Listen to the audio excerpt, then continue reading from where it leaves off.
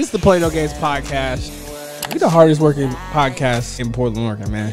Play no. Game.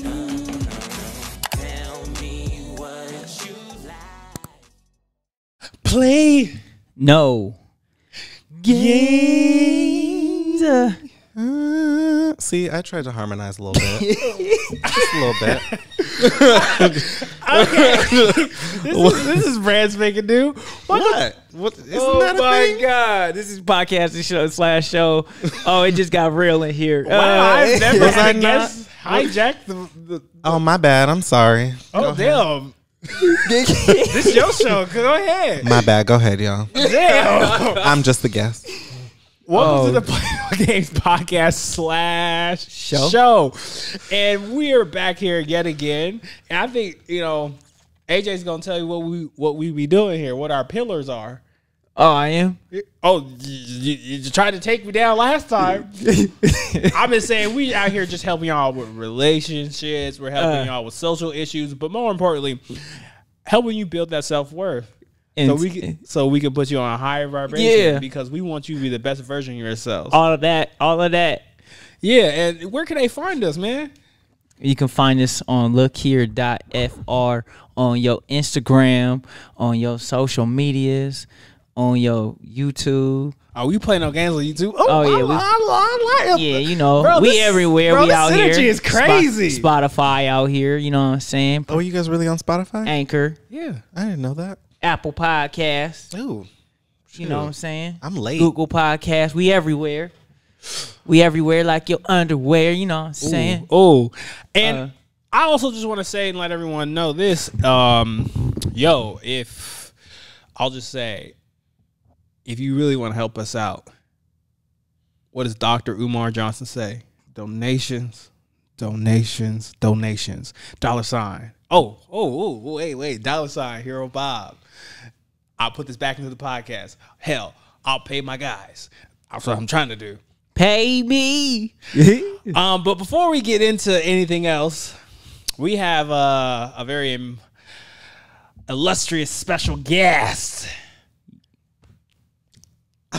Me? Oh, oh my gosh! Oh, the the person who's trying to hijack the show Oh, man, out already. the gate. I wanted to harmonize and be a part of the group. I, I apologize. We have me and this person go back as wow. We go back to like Wonder Balls and um, Pokemon. Yes. Yes. Very, very far. And the Deb Deb Ball. You remember that? Oh, that's when I was a tuning, and uh, for anyone who knows, you know, I was a young ninja, and then uh, I had to grow up a little bit. But before anything else, I've known this guy, love this guy. Besides me knowing him, he's done so many great things in the community, whether that's for work or that's connecting people. And when it comes to just guests that we have on, he's definitely a person that um, I want y'all to hear from. He has a very balanced perspective from digital marketing, content media, and this all around all around just getting people together. We got Herschel on the podcast slash show today. Thank you for having me. Thank you for having me. Excited to be here. But before we get into any bigger things, you know, one of my big dogs to the right, he gonna let you know how we, you know, how we start the show. So we do this uh, introduction. It's called uh, "Play No Games," and we like to talk about something that uh, we don't play no games about. It could be positive, it could be negative, it could be about what happened today, it could be about something that happened in the past, whatever. But you play no games about this. What you got for us?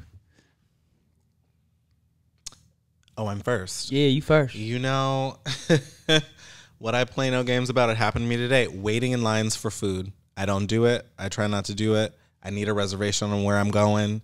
I'm not waiting in lines for food. I play no games about that. I do not play. Ooh, oh, okay. Somebody hungry. Uh, hungry. like I can eat, you know?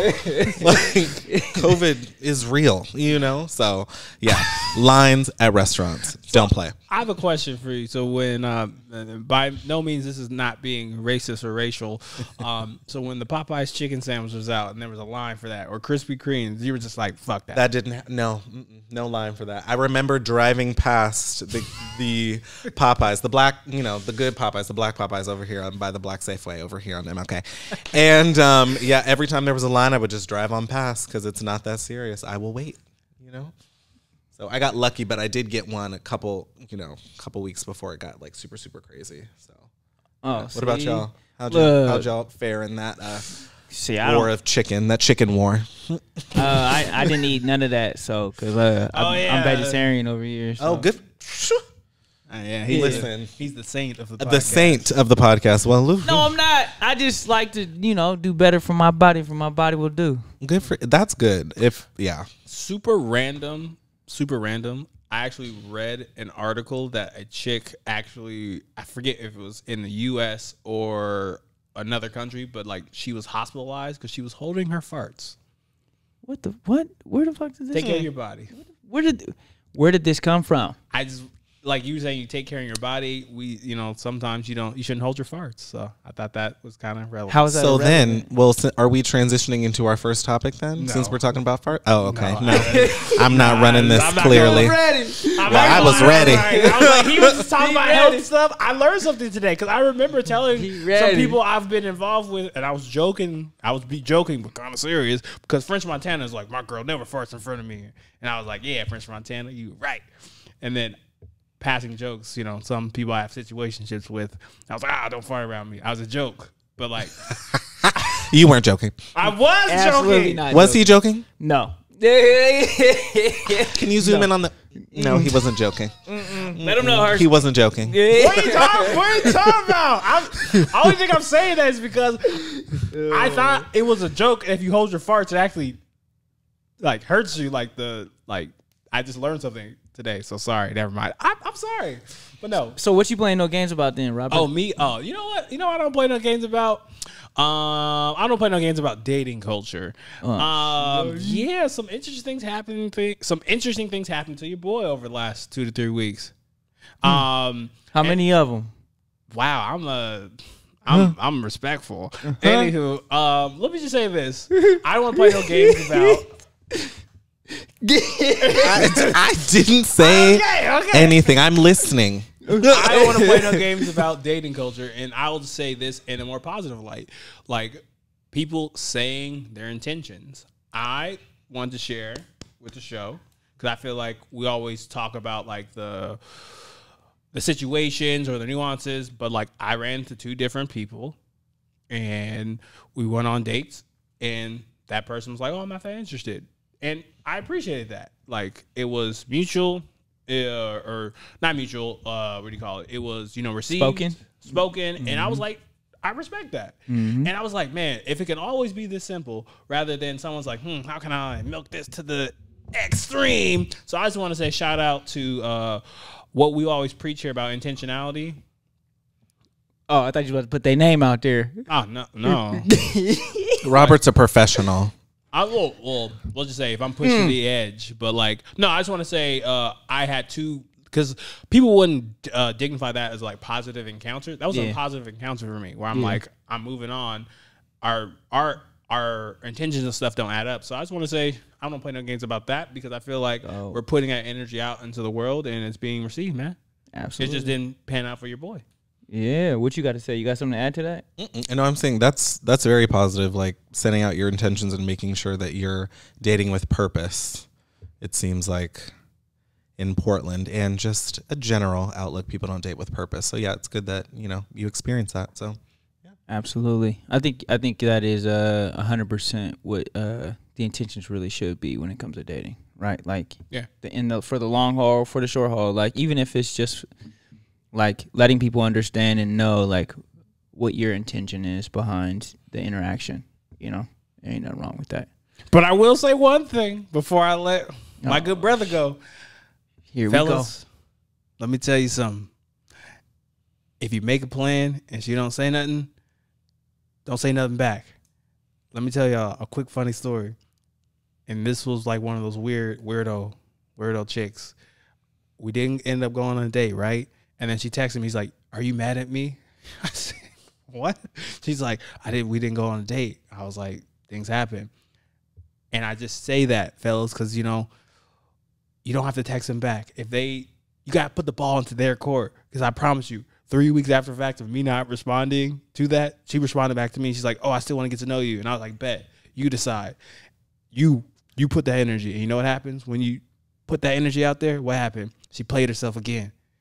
That's all I gotta say. We ain't playing no games around here. Here we go. But I hear her there. Okie dokie. Smokey, I want to play no games about cars, man. Cars. For real. Cars.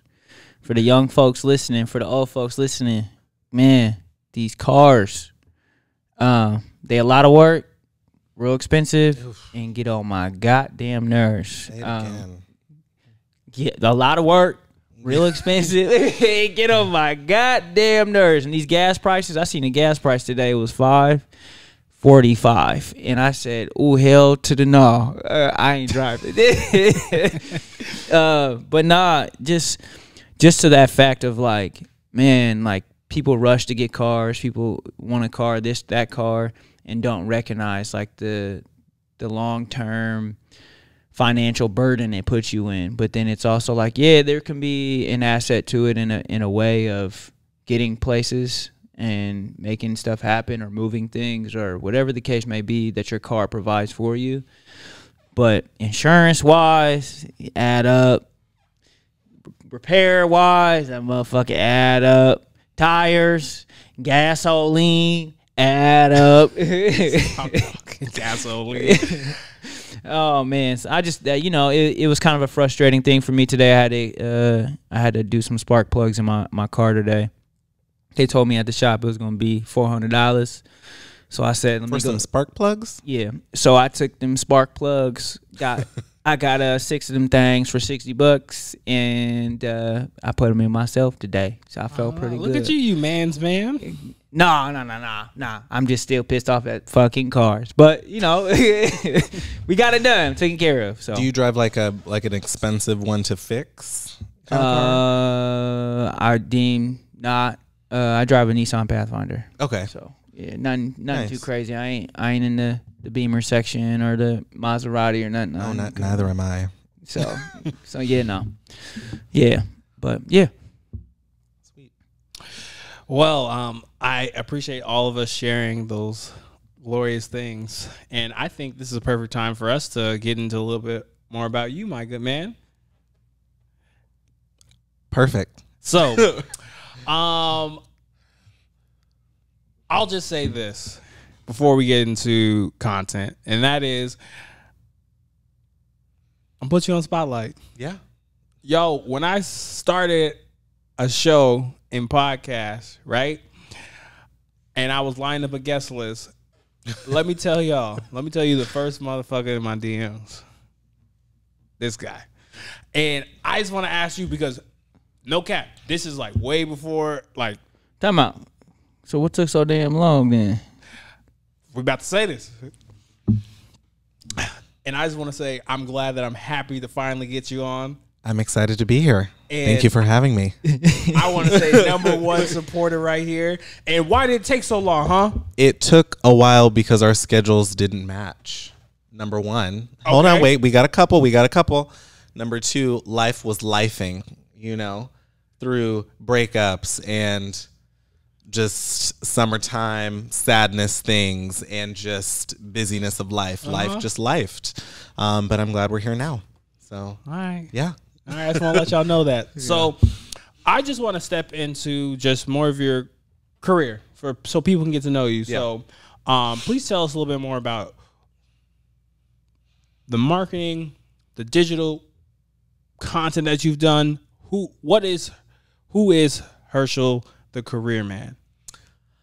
Um, I guess it depends on who's asking, but since it's you, I'll give you the real answer. Yeah. We ain't playing no game. Herschel, the career man, is a little all over the place, to be very honest. I went to school um, for psychology because I thought I wanted to, you know, go into school counseling and do that because I really liked, you know, helping people, and I just like you know, just being around children. They're great. They keep you young. It's fun and just helping people.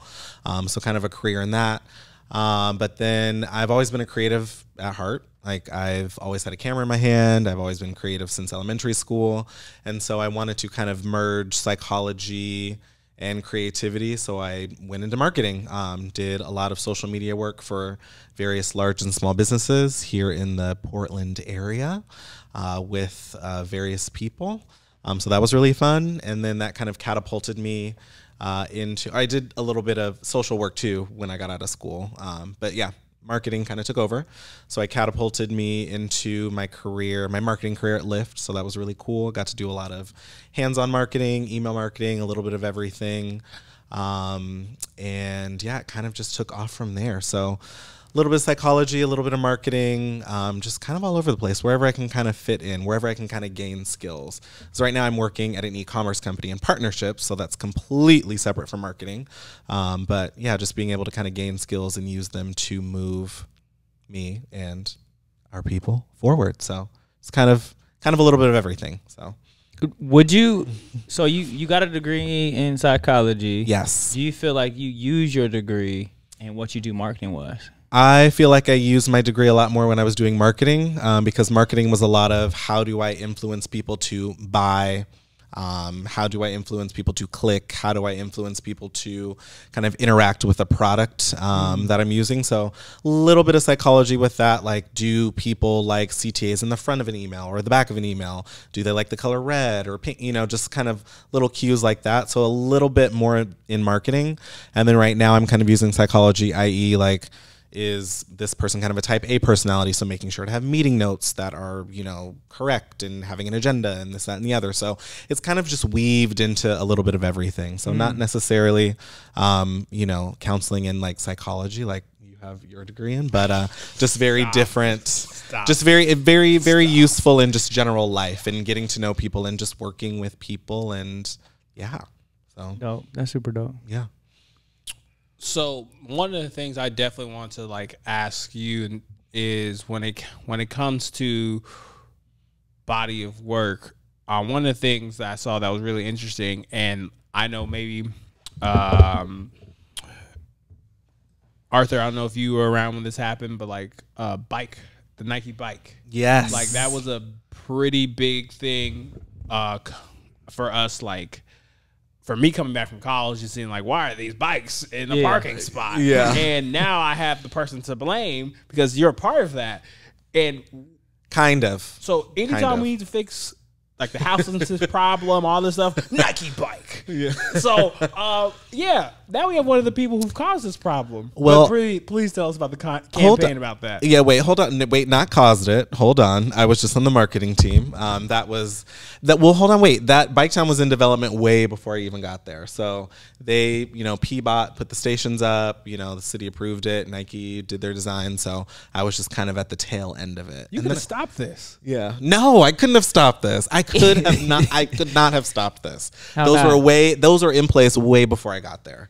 It's- but It's crazy that you talk about the Nike bikes because I know one of the designers of of the sec- first generation Nike bike and the second generation Nike bike. uh, which one? Which uh, iteration? the first generation, the blue one. No, no. Uh, oh my goodness, this is so bad. I should know this because I worked on the campaign, but that was three years ago. What was it? What, what um, affinity group? Do you remember? No, I just know one of the person who did the artwork for the bike. This is so bad. I should know this. wow Oops. Um, well, Yeah, and she she did she so she did the first generation. well, they're all awesome. They all looked great. All the artists did a really great job. So yeah shout out Yeah. to shout out to you. yeah, and sh- and when she she won it, um, won that opportunity to do it, it was like an amazing thing for her, and she's she's a real dope artist, and she does a lot of stuff for Nike too. So Yeah, like the those affinity bikes, they were really um, big in the community. We that um, project started. I want to say I don't. I don't want to give the wrong date, but it started out of just um, wanting to highlight you know people in the different affinity groups in the communities at Nike, um, and they pulled people. So there was a um, oh my goodness, this is so bad. Black History Month bike, Asian History Month bike, Native American bike, and just kind of different affinity groups. So we uh, made sure to work with people that were local in the community, making sure Ah, that we were working with people that, you know, obviously had great designs, but, you know, knew the culture and knew kind of what we wanted to do and bring community into the bike town space. Um, so that was a really cool project to be a part of for the last, I believe I did the last like three or four of those. I helped kind of market that. yeah. So it was really great. So it was a great program. Absolutely. So, Super dope. Man. Big popping over here. I mean, just a little bit, a little bit. Nah, nah, a, nah, pa- nah, a part of some great things. Yeah. Big popping over here. hey, don't don't don't cast a shadow on yourself. Yeah. I was very blessed with some of the opportunities that I've had for sure. So, yeah. Hmm. So take us, let's just say, because you know we want to hook them in with Nike because they're like, oh, everyone's like, oh yeah, Nike, yeah, you know, that's gonna further validate you for people to be, like, oh yeah, we're gonna stay and listen more. Yeah. But please tell people the process. It doesn't have to be with the bike town that mm-hmm. you worked on, but like when it comes to marketing, let's just say there's like a 17 18 year old listening to this what's the process of getting into and building a campaign? Because i feel like a lot of people don't understand what a campaign is. They think it's like presidential stuff but like what does a campaign mean in marketing Um, so I worked on a campaign that was across all eight systems. It was essentially trying to get user stories for um, our social channels. It was essentially, I think it was called like the Why I Bike campaign. Um, and we really wanted to promote a just all of our um, low income programs. We wanted to promote um, just the different uh, diversity of the people that were using our systems. And so that marketing campaign was centered around gathering user stories. So it really just kind of depends on what kind of marketing campaign you're trying to do.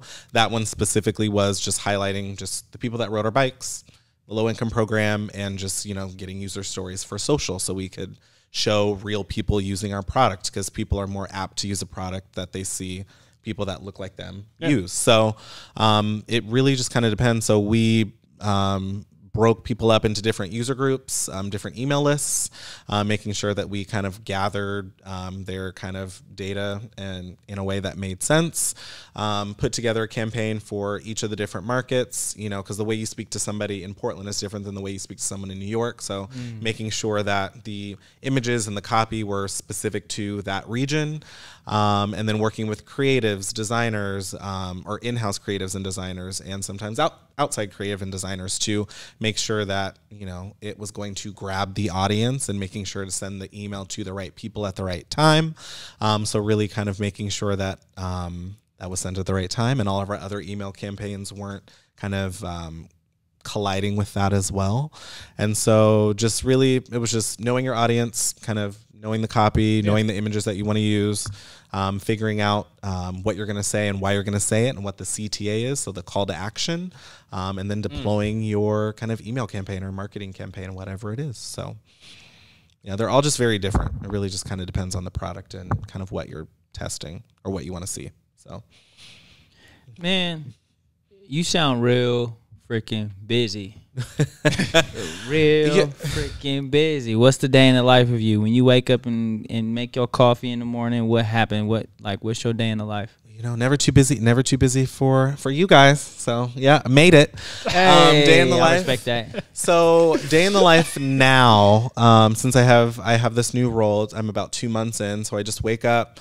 Um, I like going to the office. I love the hey, happy Monday. Hey, oh, are you getting coffee? Hey, do you want to go to lunch? I love that little small t- like I love being connected to people in that way because I was sitting at home for two years just like looking at myself in the mirror, you know what I mean, and working remote. Yeah, it was just going crazy. I, I I thrive on just kind of personal connection. So I wake up, um, shower, brush my teeth, kind of do that whole thing. Duh.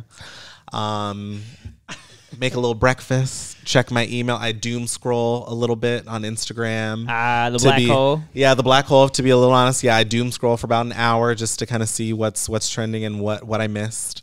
Um, yeah, so that's kind of the start. What questions? I have a question. So we Yes. had a uh, uh, we had a dope guy on here maybe like a couple weeks ago. His name was Roz, real real solid dude, and he was talking about uh, taking like social media breaks, and he was talking about like, Oh, I think I watched that. Yes. oh wow, look at you, yeah, yes, yeah. but please summarize for the people who haven't. Well, dope Hey. guy, please watch that episode. And he was talking about taking a tech break. And I know with marketing, like you said, you gotta have your phone glued to your hand. One hundred percent. And I have to ask for you: Do you take tech breaks when it comes to like, hey, like you know, I know you do that for work, right? Mm-hmm. But like, do you ever think, or do you ever have a moment where you're like, you know, I'm not even gonna be on my phone?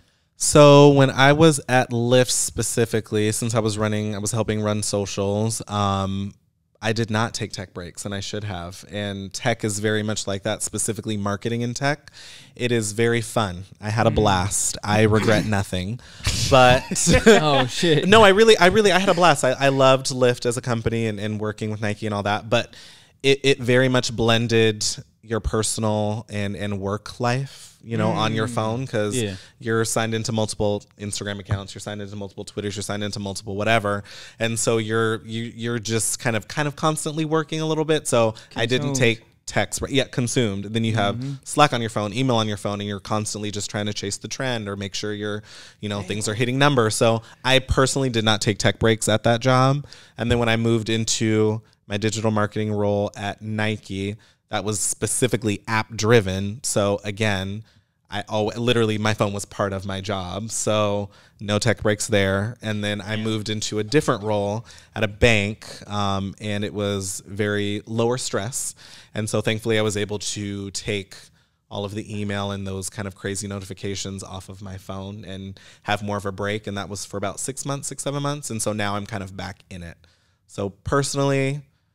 No, I don't know how to take tech breaks. But- Uh, I took a, I took a six month one Is a with that bank job. Is it is there a difference knowing from going from that high intensity to like maybe like a medium? Like, do you feel different? now I feel different in the role that I'm in now because I'm not specifically in social, you know. So Shout out to Roz, you right, bro. Yeah. bro, you right. God yeah, dang, it's different. It's a lot different. I, I social is amazing. It, it's it's created brands. Uh, Your brand is running on social, and so it's just yeah, like it's it's great. Social media is great, but yeah, it's just it's it's a little consuming when you have to do it for work too. So yeah, Interesting. do you guys take tech breaks? Yes. All the goddamn time. I love that. And do you uh, do you work in like any kind of media kind of? What do you No. No. So I, w- I work at a high school. I do campus security. So I don't I don't need my do you phone. love that? I, I would love that. Be like, Can you stop messing with stuff? Well, you know, no, it's different. No, it has its ups and its downs, it has its perks. Definitely, like Yeah. I love the aspect of what I do in the face of like interacting with students every day, meeting new people, engaging, being aware of my surroundings and things like that. Because I grew up doing that, and so like that part becomes real easy for me. Um, does it get real repetitive and boring sometimes? Absolutely. Yeah. And I'm at at a school where there's something going on every day, so it's like that aspect of things get boring. Yeah. Like I'm I'm not saying I want to break up a fight every day, but on the same stint, like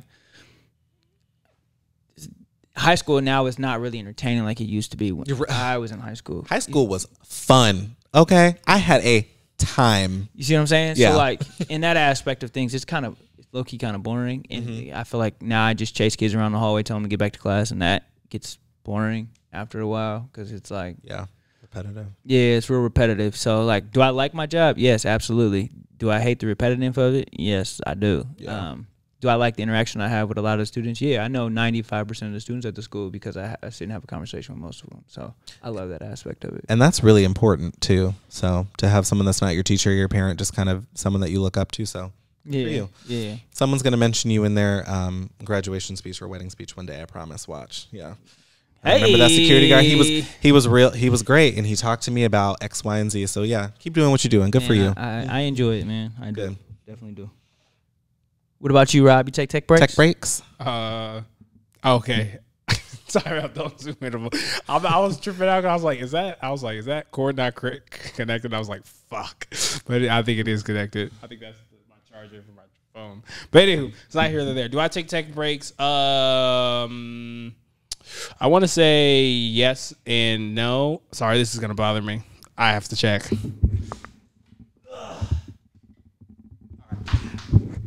We back. Sorry, I had to check because I seen that earlier. I just didn't say nothing.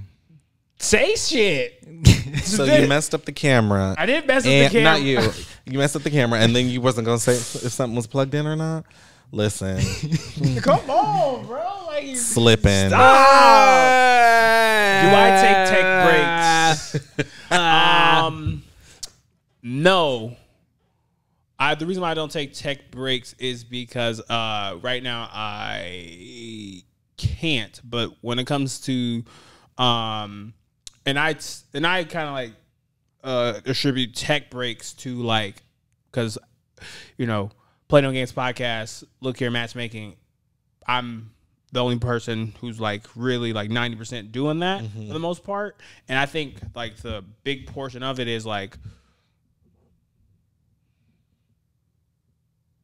i'm grinding and doing all this stuff until we get the right person to do it like a person like you where like That makes sense. who's in the world where like I'm doing the bare minimum, but even doing like the bare minimum is like a lot. But one of the things I tell people about tech is I know why, and this kind of leads us into the next question too as well, where it's kind of like I know that Robert, Rob, I'm a brand, and what a lot of people don't think is like, yeah, when I do social media, I always like I'm trying to have fun, mm-hmm.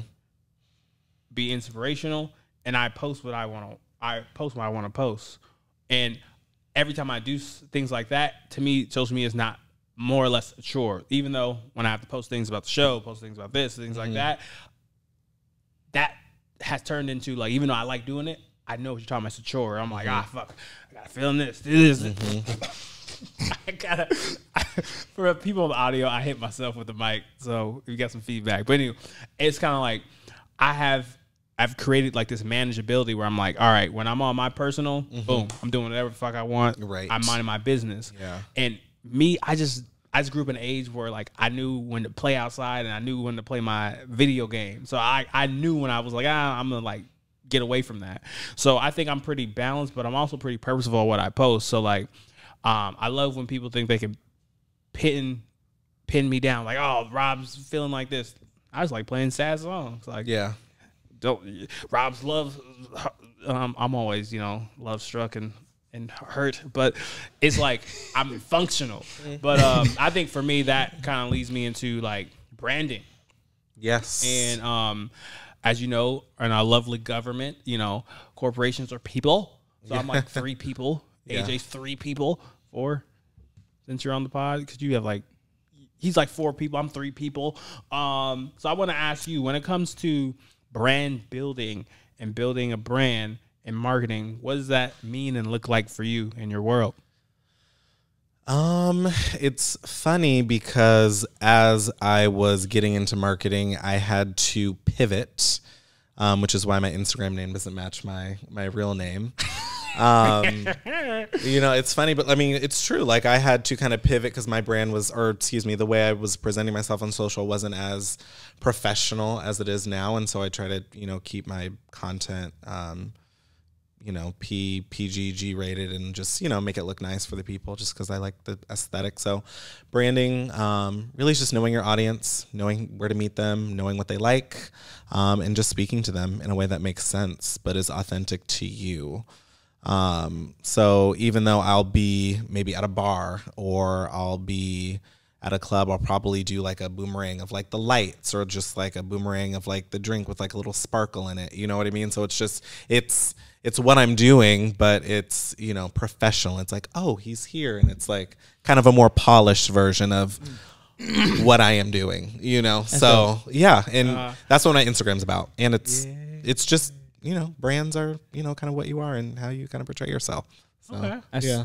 that's dope, man. It, it's it's hard for me. I'm not a big social media person, like as a whole. Good for you.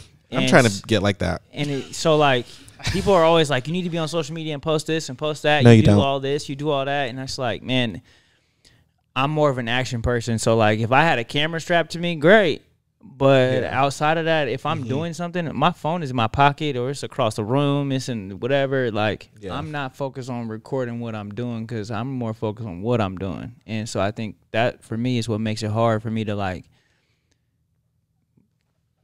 do all four of my pages, three pages, or whatever, it's because it's like I'd rather just be in the moment, live in that moment instead of recording the moment because now you're not doing it for you. It's you're doing it for other people to see what you're doing. And so I, I um you know, so that's I think that's where I get lost in my branding aspect and that's why my brands aren't where I want them to be. Um because I'm not deliberately just recording just to record, just to put on something. Like I'd rather show people what I'm doing instead. So, yeah, we'll see.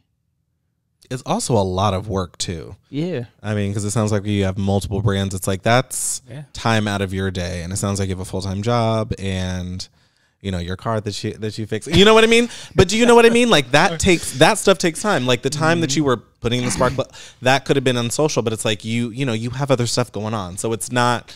I mean, I, I like, I wish I was more inclined to live in the moment. I'm trying to do better about that, to like put my phone down when I'm at a dinner or put my phone down when I'm at a bar or, or hanging with friends or just speaking to my parents. Cause it's like, you will, you'll miss things if you're just recording. So mm-hmm. good for you. I mean, obviously brand building is important. So try to, you know, do as much as you can, but it's good that you're not in the, kind of habits that I've developed as a marketer and as a kind of creative person. So I don't know. But I also think it's it's a part of your job, right? That's like, true. When it comes to being good at what you do, you have to be doing it. Yeah. And so I think in that aspect, you doing it for work and getting paid for what you do, it becomes easy to do it on your own because Yeah. you're already getting paid to do it. So, and that's a that's the other piece that I think people have to begin to recognize is like, you know, if and this is what I tell the kids all the time. They want to be TikTok famous, but none of them know how to dance. It'd be like you don't even know how to dance. You want to be TikTok famous. It's like you got to know how to dance. So when you broadcast yourself, people see that you can dance already. That's how you become famous, right? And it's like, and it's like for you, and that my thought is that same thought, right? Like you're already doing this for work. So when you post things, Yeah. you know how to make it so it's efficient. You know how to make it so that it, it's the lighting's right. Mm-hmm. You know how to make it so where it hit. You know when time to post it because you be posting it at the right time for your other stuff, right? That's real. So Yeah. Mm-hmm. it hit right. So now it's like it just becomes second nature for you posting Yeah. for yourself. So yeah. And this is why I love this guy over here because this sets me up to say, so when you gonna, you know, come over here and you know, you know, help us out. Ah, Well, we'll set something up. We talked about it on the phone. I still need a pitch telling deck. people things off camera. Oh, my bad. I'm saying- I'm trying to make you Listen. comfortable. Oh, yeah, I'm comfy. Yeah. No, Yeah, I um soon. soon. Very soon is the All right, right, answer. All right, all right. but you know what? I wanna. We kind of are leading, leaning on this because like the synergy right now is crazy. We want the cheat codes. Cheat codes for what? Social media. When's the right time to post? When is um? How do we get something to trend? Um, how do we get?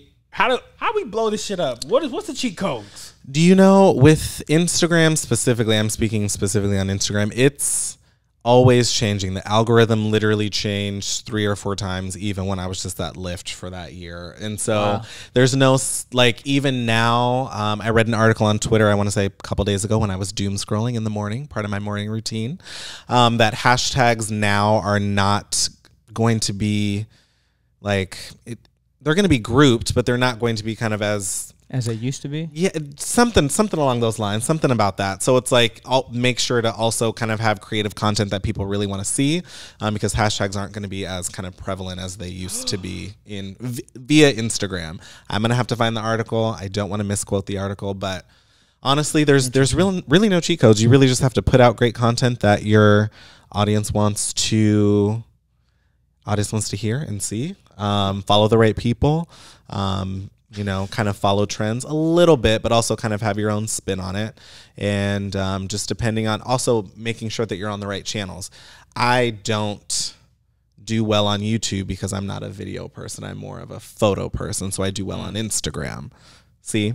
Um, I also don't do very well on Facebook because I don't write copy or have photos for kind of an older audience. My audience is younger, like 20s to kind of late 30, you know what I mean? So I have to meet my audience where they're at. So it really just depends on that as well.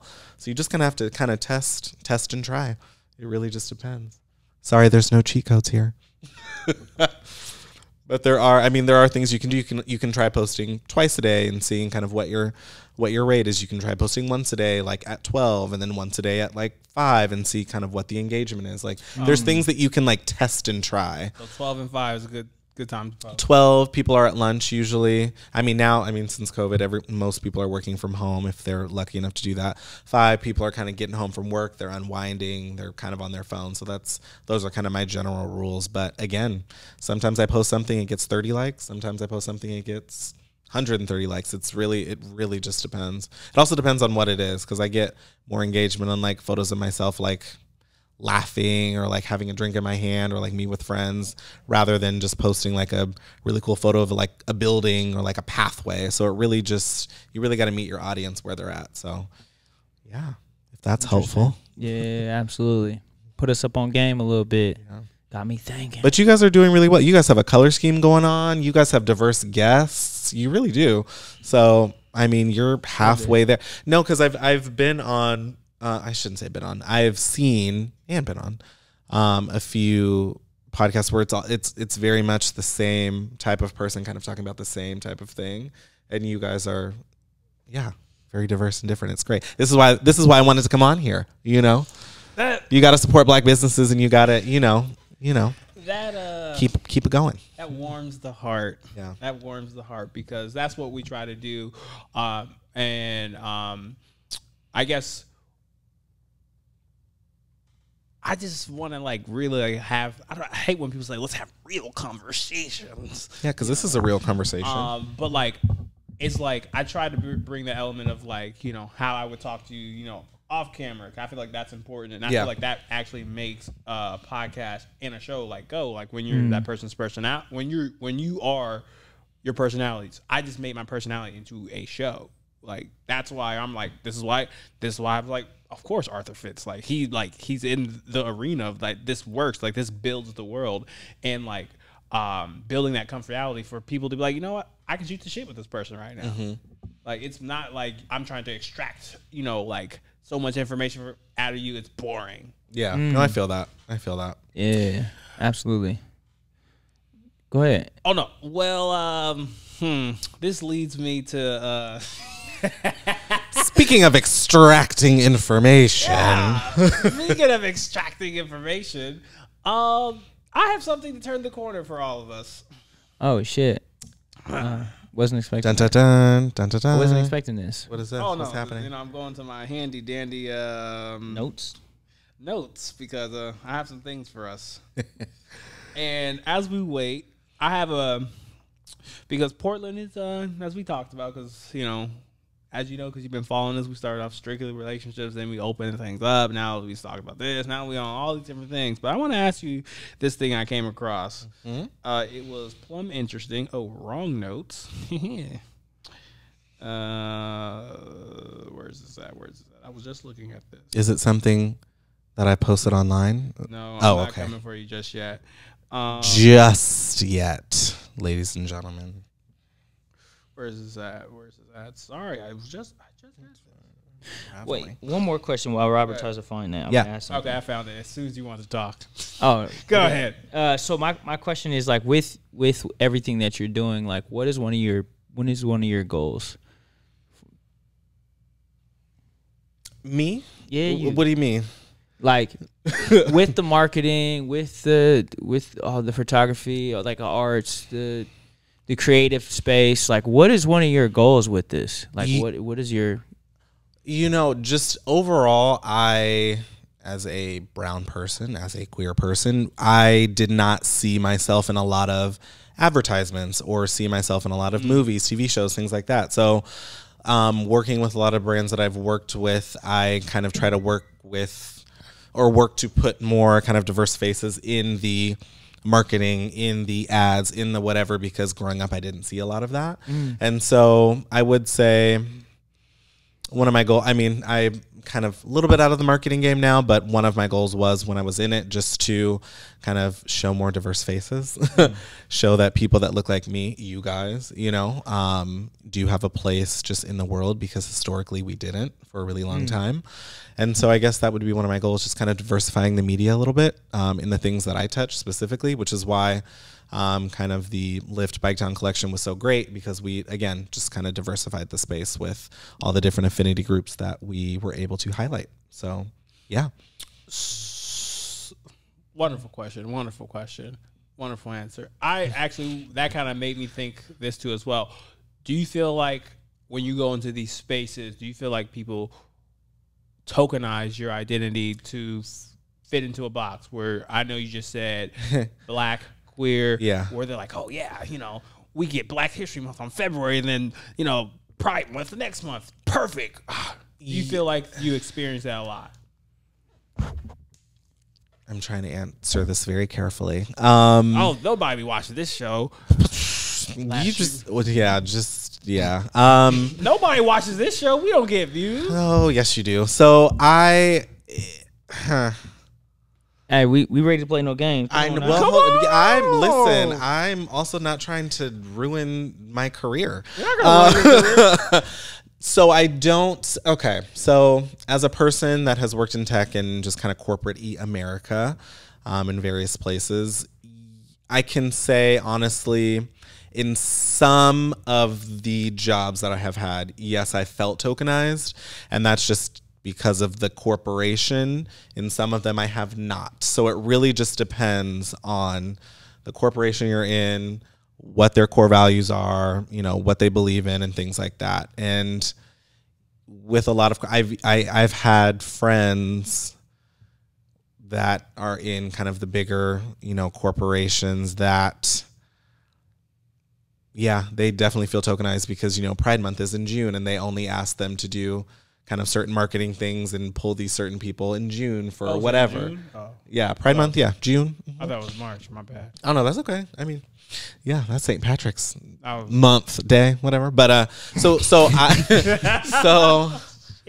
so in certain certain corporations, yes, feel tokenized. Other ones, no. It really just kind of depends on who you're working for and what you're doing. So yeah, but generally, I mean, yeah, corporate America tokenizes brown bodies. So have you felt that way in your kind of career at all?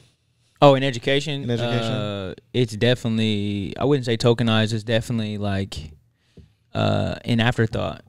Um, Mm, just yeah. because you don't see a lot of black and brown teachers Yes. Mm-hmm. in education, you only see them in like support services, like supporting staff. So you see them as the custodial staff. You see them as uh, like uh, um, organizations in the building. You'll see them Mm-hmm. as RJ coordinators. You'll see them as uh, people that help with like special needs students. Mm-hmm. Like you don't see them as like superintendents, roles. Yeah, Yeah. superintendents, principals.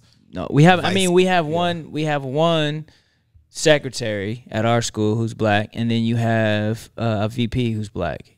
Um, but outside of that, like all you see is black supporting staff. You don't see. We have one black male teacher, and that's it. Like Crazy. So yeah, it that's is- yeah, that's how it was even when I was in high school. So, so in that aspect of like tokenism, I wouldn't say it's it's more it's it's just more like stepped on. Like oh, we have enough black people here. We mm-hmm. good. Mm-hmm. And it's and especially I was gonna say also in where we live at, like Portland specifically, because like I have a friend, a really good friend uh, that lives in DC, and she had black teachers all growing up. You know, because she lived in um, a really nice part of DC, and well, I guess in corporate in the corporate world now, there's still not a lot, specifically tech. There's not a lot of black women or a lot of, not a lot of black and brown men. So I guess even I guess even when you live in DC or other places, we still kind of get chosen maybe chosen for certain roles for certain reasons. So it really just depends. Yeah. Also Portland, yeah, we're like five percent black here. I think I can name all my black teachers on one hand: Mr. Tidwell, Mr. Johnson. Shout out to Mr. Johnson. Uh, Jeff kids hated him because he was keeping people accountable. Uh, yeah, Mr. Tidwell, Mr. Johnson. I think that was all my black teachers I've had. damn. I've had Mr. Frazier, shout out to him. Mr. Shelton, he wasn't a teacher. I think he was a dean of students. Yes, we had Oh, principal. Oh, oh, that's my Yeah, cousin. yeah, Oh, uh-huh, yeah, I uh-huh, uh-huh. Oh, yeah. Oh yeah, we go way back. Yeah, um, Yeah, yeah, we go way back the other way. the principal. Oh my goodness, this is so sad. Butler, Miss Butler, great, wonderful Oh, Miss Butler. leader. Um, but that's pretty And then I had a dance teacher in kindergarten. Don't think he's still alive though, but he was great. Um, he had really long dreads and he was really nice. But yeah, that's yeah, four. And I've been in what school is what primary school is what twelve years. That's sad. What about Yeah. you? Uh, I had one black sub, Earl Farmville. Shout out Earl Farmville. Uh, And see, he was a su- well. I You still have to have a, a teaching license he, to be a so sub. so he ended up becoming our teacher because our one of our teachers ended up going doing the sabbatical, um, and so he ended up becoming the teacher. Um, ooh, outside of that, ooh, that's tough. Um, yeah, I just we had black security guard, um, black admin staff, and that, but I think that's really about it. Like I only had like one. Crazy. And this gets me to, and I swear, like, this is why I love what we're doing. Like, I literally posted this on ah, social media because I love this cat. His name is LaRussell. And, like, I like him because, yo, he does, he puts out content every day, one rap, 30 seconds, whatever. And he does it all from his house. He- He's independent. And he, and he posted, and he posted this. He He's says, from the Bay, isn't he? Yep, Yeah. from the Bay. Yeah, yeah, yeah. He said, "Be the example. It's hard to be what you. It's hard to be what you've never seen." And then it's a long thing, but he talked about he's been around a lot of great men, and he's kind of like if he was around doctors, lawyers, scientists, that we would definitely see more black doctors, lawyers, and scientists. But he's like the great men that are around me. We're rapping, we're doing other stuff. So he's kind of like, mm, it's like the lack of like access of like why what we do so important of all the things that we're doing because we're showing not saying the people who are hooping doing entertainment i'm hell i mean we're doing entertainment for the most part but like we have other identities so i feel like being a great man is what what we're doing right here showing them the different levels and layers of getting it Mm-hmm. Absolutely. Yeah, Respect that. hundred percent. Yeah, because I never saw any black marketers. I didn't even know that was a thing.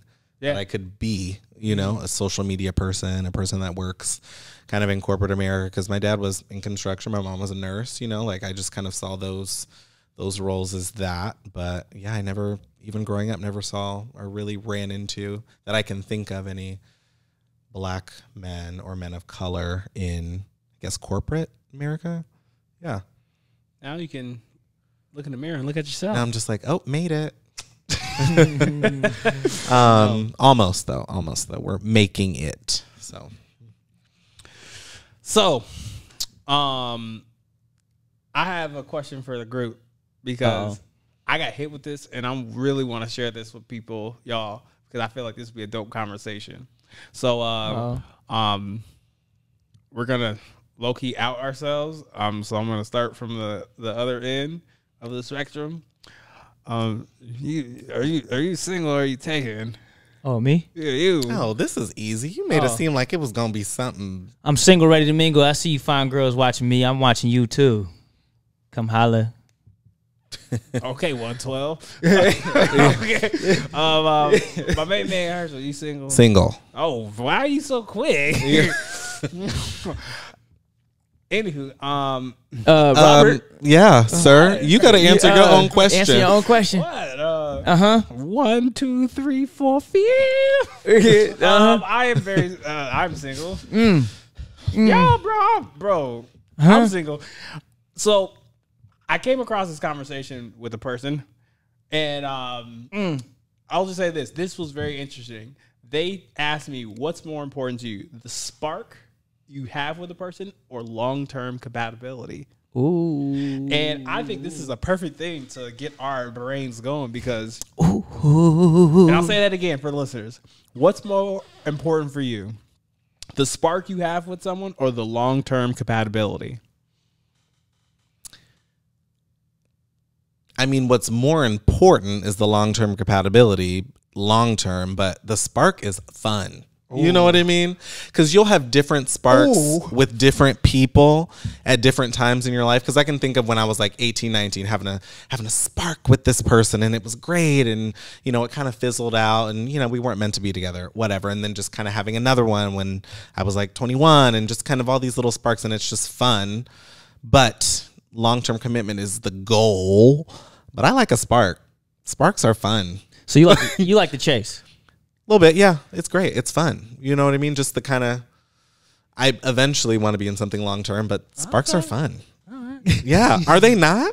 Like sparklers, even on Fourth of July, sparklers, sparks. It's fun. It's short. It's quick. It's to the point. You know Uh, uh, Yeah. what? What do you what? Are you more of a long term? I like a spark, See, Wow. But- but- but- but you know, long term, you know, it kind of beats the heart a little bit. You know what I'm saying? I'm a softy at heart. Uh, so I, de- I definitely like the ride, man. Like, um, but I, I definitely think nowadays a lot of people just want the spark, the instant, Yeah. that instant connection, and so, um, which is, which is great for the short period, like you said, it's Yeah. great for a short period of time. But what happens when the real questions are asked? What happens when the real shit happens? Like, we had a uh, get a, a couple a few weeks ago, and we we talked about like going through the shit and like what happens when you actually have to get into the in depths of that conversation and go through the shit. Does it keep sparkling or does that sparkler fizz out to the stick part? You know what I'm saying? And now you got to go get a new sparkle. So it's like we have to we have to figure figure out and, and find those tough questions and find those tough answers. Um, but you know, I think like you said, ultimately everybody likes a spark, but for when I when I was young, I loved the spark because I loved the chase when I was young. But I think now, as you get older and you continue to climb, it's like, man, that shit gets it gets pointless and it's boring. Like, I don't know. That's just me. That's my opinion. Yeah, I, see, I knew I had the right guys for this shit because I knew, I just knew it. I, I was saving, I was gonna save this for the next week for our next guest, but I was like, I got some other shit for, I got some other shit for. But also, wait, can I elaborate on that? Also, go ahead, I've go always just kind of focused on my career.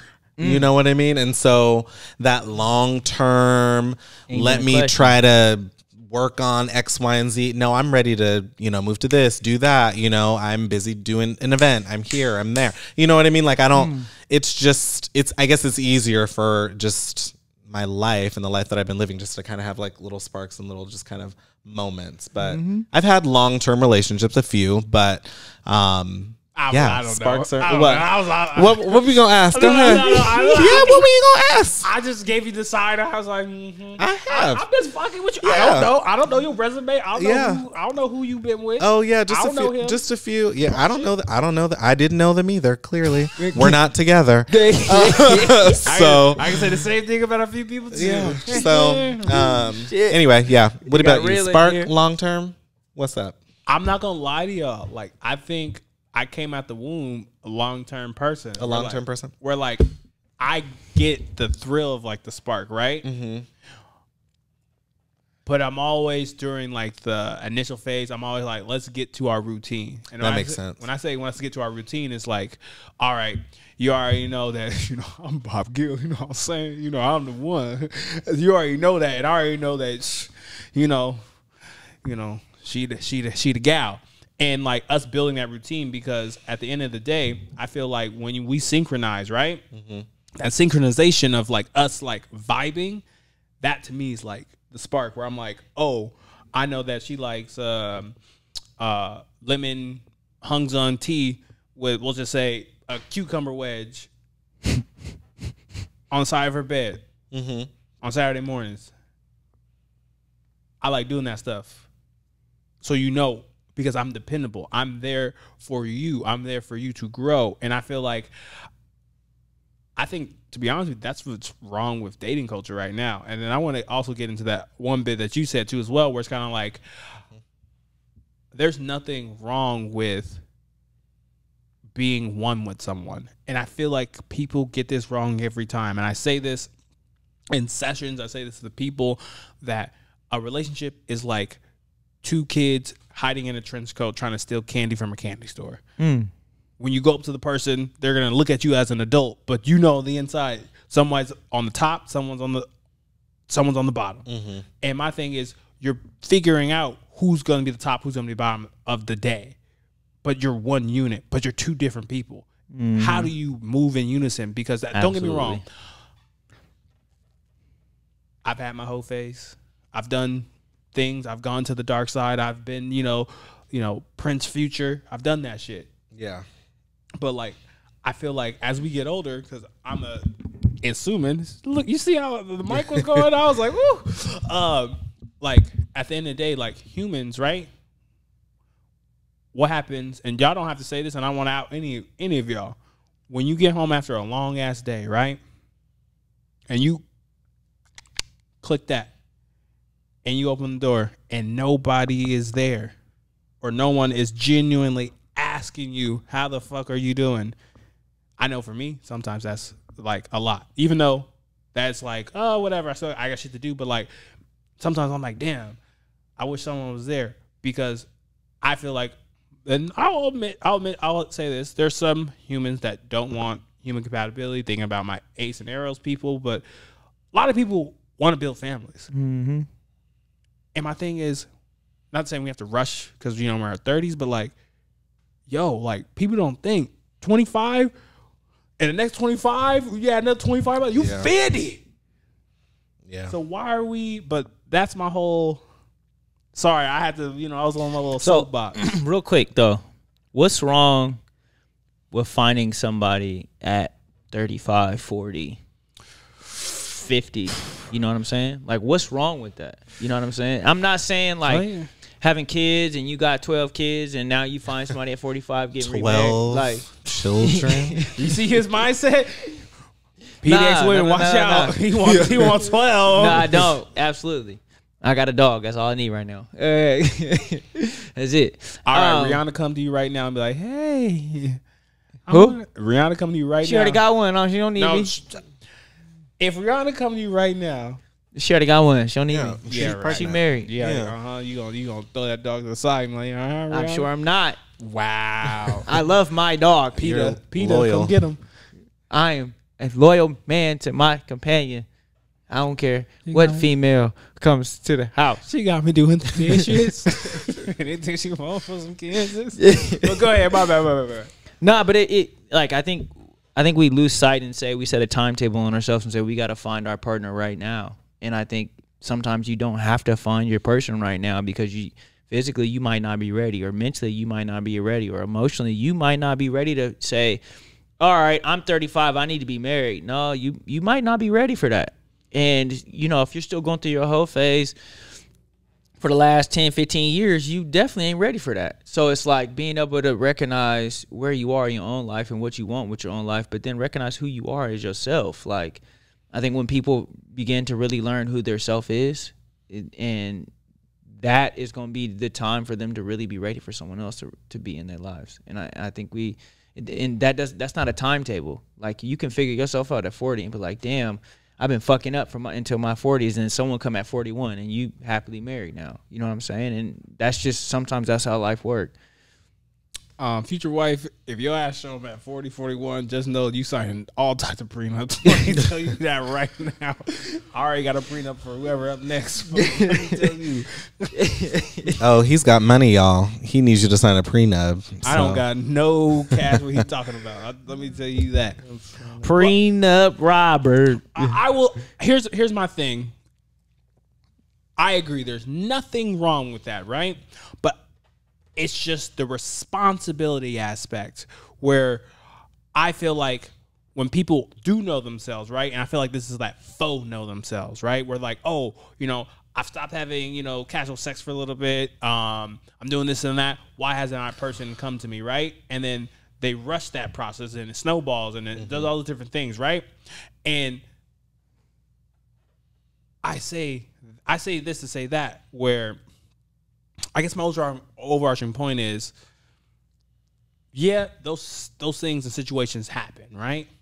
But like how intentional have you really been mm. for that to really work? Because I know a lot of people who's like, let me really, you know, expunge my criminal record. And then I'm like, yeah, mm-hmm. after like, I'm supposed to have this, it's like that arrogance or that air of like, oh, I've done this. I'm supposed to have these things or I'm supposed to have this relationship. Now I'm 30 and 40, but they really know that or they don't know this that that underlying ego that they're having that is pushing away that good man. Or that pushing away that good um uh or uh guy or, or whatever right? And my thing is we talk about human development nature versus nurture right? Why is it so much of a crime for people to learn and understand you follow- you follow me for the I was looking at the camera. You're looking good, man. You're looking good. You're looking fucking good. Thanks, Snack, Robert. gentlemen. He is single. I'm so done. All I'm Thanks, saying is, it's the whole nature versus nurture thing, right? Yeah. Where we learn all these different things. So why? So I guess my thing is, yeah, it's important to have all those different things, but why can't we be like, all right, why can't I know myself? Why can't I be instilled to try to just know the foundational pieces of building a healthy relationship? That's my only thing to that, kick Mm-hmm. to that. But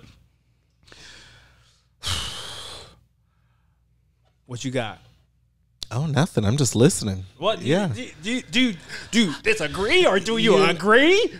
I agree. Like I, I mean, I don't think I came just out of the just out of the womb, just like, ooh, I, all I want is sparks, you know, because I've seen what healthy relationships look like. A lot of people have not, Hell yeah. you know. So I haven't. I don't know why you pointing at me. saying, Look at the Monk family. I like them. oh well, I know. I know of, but I yeah, but I didn't see that till later in life. but yeah, like it. You know, I, I know what healthy relationships look like, and I know it's. I'm not gonna say as a psychology major, I know how to like you know read people, but I do. do it, do it. But um, I mean, I know what it takes to make a relationship work, but it just, in my experience in dating here, it just hasn't. So Ooh, um, yeah, let's talk about that. You know, yeah, take a swig of water. We gonna. let's talk about it. Yeah, so, what's dating like? Been like for you? Like the, I mean, I don't know. Ever since I was just young, there, I just haven't found, yeah, just anyone to really kind of figure out what a relationship looks like because they've all just kind of been just fleeting. You know what I mean? They're not of substance. They're not dating with intentions like you were saying. So, or we're looking for different stuff. And I mean, more of when I was younger, but even now. So, because when you're younger, you're just trying to figure yourself out or figure your sexuality out or, you know, just kind of pop through different people. But even now, it's just like people aren't dating with intentionality here, you know? And if they, are they're already in some kind of thruple or partner it's it's it's very different uh, with the community here um so, what kind of guys that you know you want? I just need someone to text me back. That's all i need. No i'm just kidding. I be trying to no uh, honestly just someone with some goals someone with some again some intentions um someone with the mentality to kind of travel and get out of portland um, every few months or every whenever because portland is a wonderful place to be. I love it here. I've been here my whole life but willingness to kind of travel and explore new things because everything is not here. Um mm, let them know. yeah, uh, preferably someone with a 401k and health insurance Hey, okay. and a decent relationship with their parents. So, Wow, you go. yeah, I mean, that's, I mean, d- it doesn't Oh, have to shit, be great. It's Oh, a no, decent. okay, you my decent. bad. You know, I don't Okay, want yeah, you to, you to hate your parents unless they, you know, they, you have a real reason. But, uh, yeah, very simple, very simple things. So, yeah. What about you guys? What do you look for in a, in a mate? How has dating been for you here? Um, What? what? What was that look? for Uh, I just go for me like um dating for me has been interesting. I think I, I've I've lost a lot of intention as of late into my dating aspect of stuff. Um, I think just because I'm going through a little bit more transition phase of my life, um, and I think I'm being more intentional with certain people. Um, and I think that aspect of things is going to kind of propel me a little bit more forward. But uh, for me, Portland ain't it. Um, it just Can you say that one more time for the uh, people in the back? um, Portland, Portland ain't it. I'm just, I, I just have to, to throw that out there. no, you know what? I'm a rep my city for once. I'm the real Rob time, not the other time. It's Rob time. I'm, I'm put the CD on my back. For I love Portland. That's not what I'm saying that for, but dating in Portland is not it. Let me. I, ju- I, I I have, have to say that. okay, here's my here's my only thing. Here's my only thing, and you're gonna have to explain. I can at least just say for me or what I've observed. I feel like in Portland, it like like things like I know I know everything has to match up at a certain time, but like mm-hmm. when we talk about like now when I say top tier bad women, and I'm not gonna say the B word 'cause my mom watches. I, uh, when I'm talking about like top tier bad bees, right? I'm not talking about like the Instagrams or I'm, mm-hmm. I'm talking about like they're all. I'm talking about like a smoking 6.5 when she dressed up season seven, and then you know on that on the, those extra days when the sun's hits her just right, she's a 7.5, right? Those women are single for literally two to three months, and then they're off the market again because yes. because you get a, a dumb nigga. I mean, you get a dumb African American, or I mean, all people. uh, be like, and then they'll talk to the person like, "Man, I, I really, I, I'm really not gonna gamble this away." And then when it comes to you know us, us gentlemen, uh, we uh, Scholarly gentlemen. we uh we uh don't get those options because they're gone real fast. And I just say just in Portland because there's not a lot of people that look like us. Yes, I was just about to say that. I will say because we're gonna have a person on the podcast to talk about you know some things on the other side of the gender spectrum. That's gonna be a hot topic episode. Mm-hmm. But I'll just say this: we don't. We just have a short opportunity span to find those people because they're goal oriented just like us, mm-hmm. and like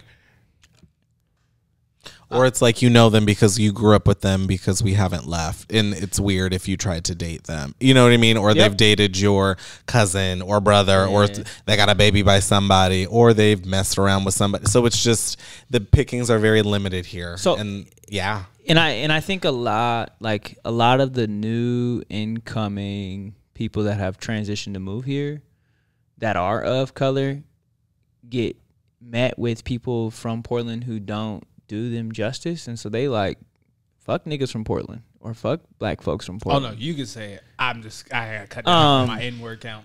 But but uh, you run into that like like don't get me wrong like I love all women. No, I'm not. I don't despise. You know, Yes. my- like I don't. I love like, all women as well.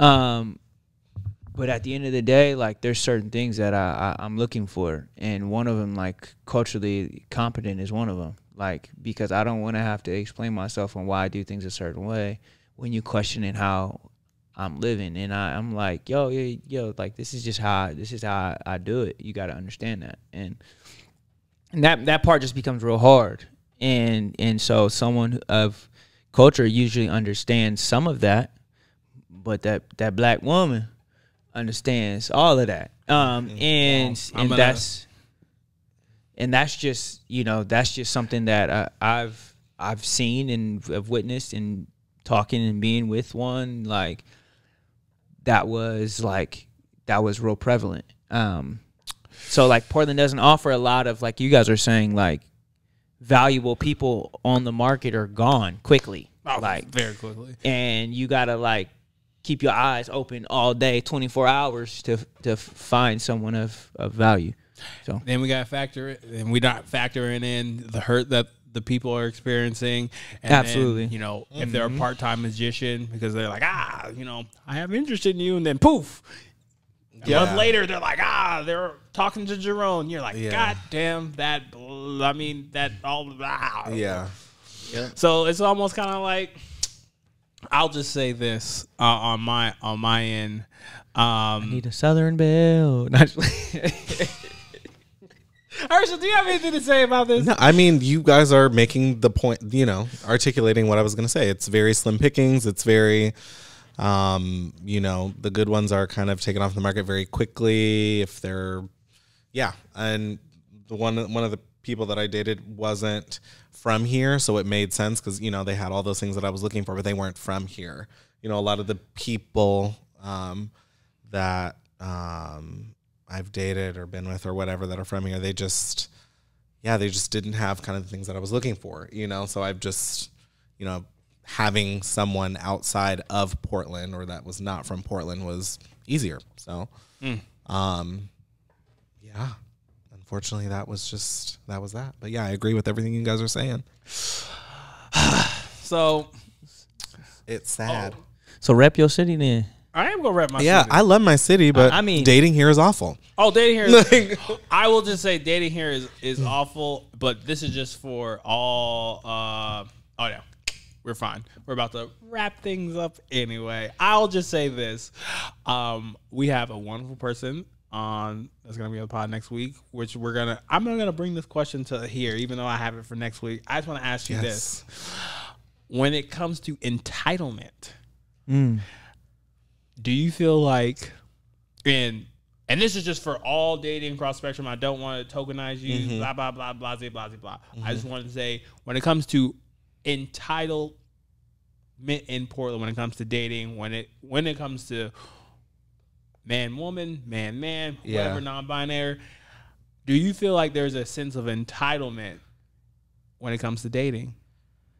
In my arena no um because it's just not something that i've experienced i've i know i have a lot of just guy friends that uh, are dating specifically here in portland and just elsewhere where their partner women whoever feels entitled that the man should pay or the man should do this the man should do that so is that what you mean is that is that kind of what i'm a little a little bit I'm entitlement saying- maybe maybe i'm missing the point I'll just say this. We'll just say this. Um, sometimes I have an experience of people of color. I'm not going to just say certain pieces of color, pe- pieces of color, people of color, that because they're so like slim pickings, Mm, that they're looking for a certain type of person of color, where the ah where it's kind of like you have to be exactly like this. Interesting. And I Interesting. have a- definitely experienced that. And I'll just say one thing. When I say I'm a mental health professional, I see every person I talk to, their energy shifts and change. Like there's individual factors to it, but like mm-hmm. there are not a lot of black handsome therapists that look like me. But I'll just say this. I know what you, I know what you, I know where you're going with this. Yeah, You know what? that makes sense. That makes sense because it's. I don't know how to really articulate it, but I know exactly what you're saying.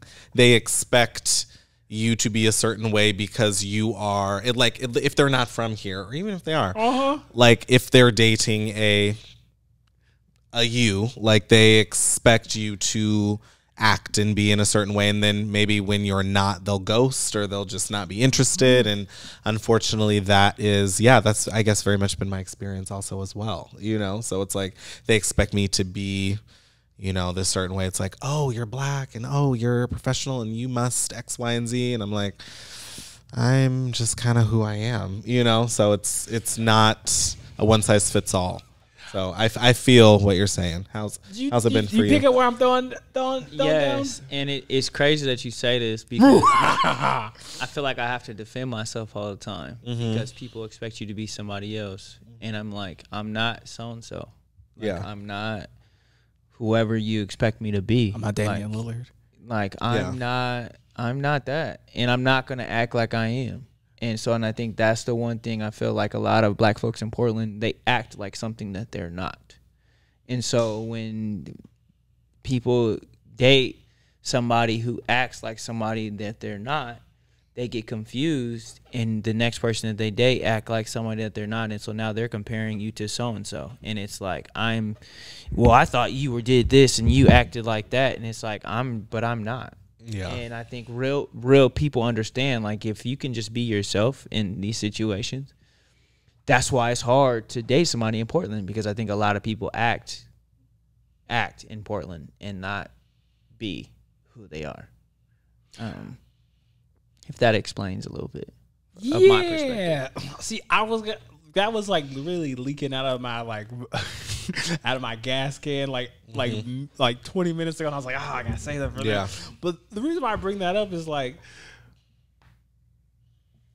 I don't know about y'all and like I don't want people thinking like, "Oh, Rob's hating on these other people or other guys getting Oh, get your women, get your women up." But when we'll just say if I'm being honest and if I would Kevin Samuels myself, I'm like a 6.5 for a guy. Like I'm slightly above average on looks. Like when it comes to career resume, like when I put on a suit, I'm a solid seven.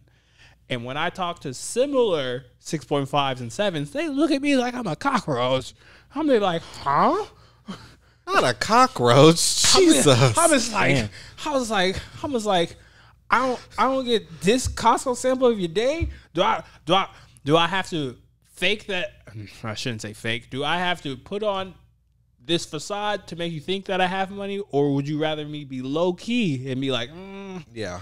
I got this type of thing. But you know, you, know, you got to earn that. You know, that's that's that. But my only reason I'm bringing that up is, um, I feel like at least here, that's one of the issues where because there's such like a limited amount of us, where like you have to play this particular box or check box, or you got to have this particular pass for for not to get the win, not to not to settle or whatever, but for that person to actually see you. I feel like there's a lot of faux, like oh, I'll talk to you type of thing. I didn't have a shot in hell.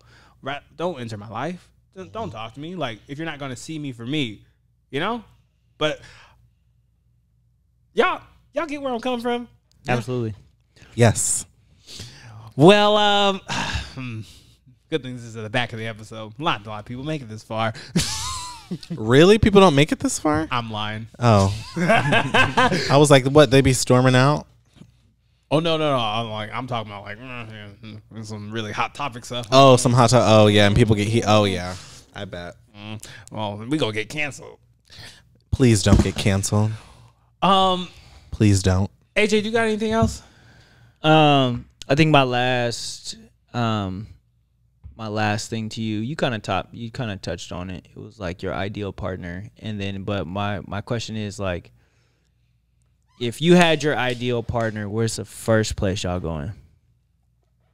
It could be a date, it could be a trip, it could be wherever. Where's the first? Oh, the place world? y'all going? It's This is the world? and it's open. Mask off. Fuck it, mask off. Percocet. Molly Percocet. Uh, we not promoting. You wanna go first? We not promoting. oh, where I'm going? Yeah. Um. Okay. Uh.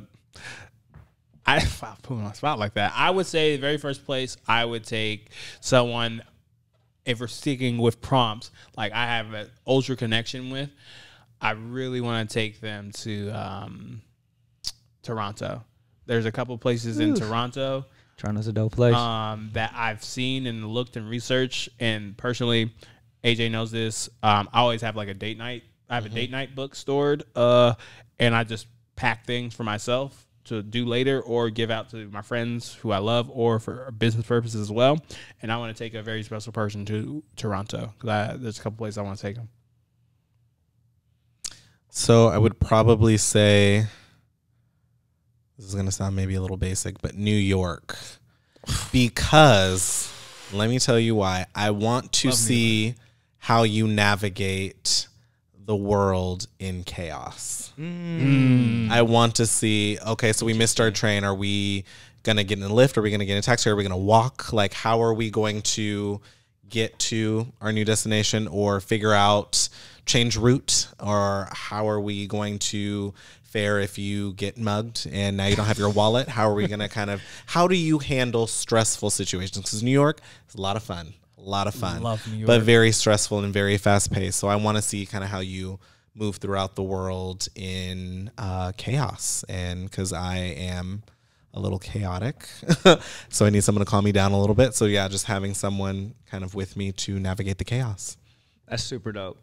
Um, I I'm similar to this this aspect of what you said, but I'm gonna do it a little bit differently. I want to look at the cultural side of things. So I would take somebody to uh, a place that doesn't speak English, um, and see how they navigate uh, culturally, and see um, what they would want to learn, how they embrace themselves, how they um, step into culture, how how how do they take in culture, do they step they push away culture, like uh, what are you willing to embrace? And and for me, I'm I'm very much so like if I go to a different country, um, I'm I'm two feet in when it comes to a lot of the traditions and their, the things that they do. So like I want to see if my partner can really like jump into that box with me. Like let's see if you can really embrace something culturally different, like absolutely different.